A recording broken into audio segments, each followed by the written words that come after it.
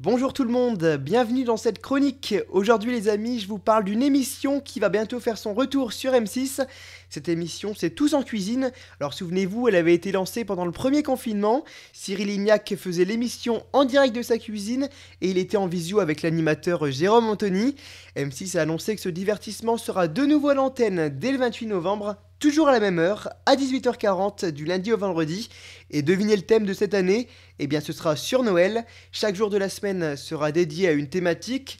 Parmi elles, les plats de fête à bas prix, les plats de légende ou encore les plats de fête régionaux.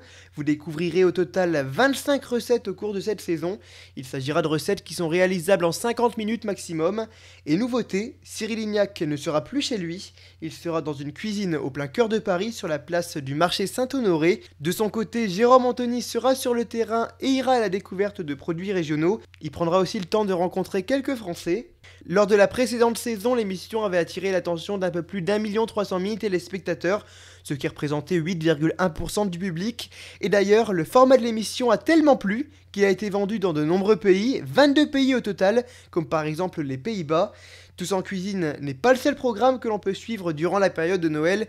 Il y a bien sûr les traditionnels téléfilms de TF1 et TMC qui ont commencé leur diffusion assez tôt cette année par rapport aux années précédentes.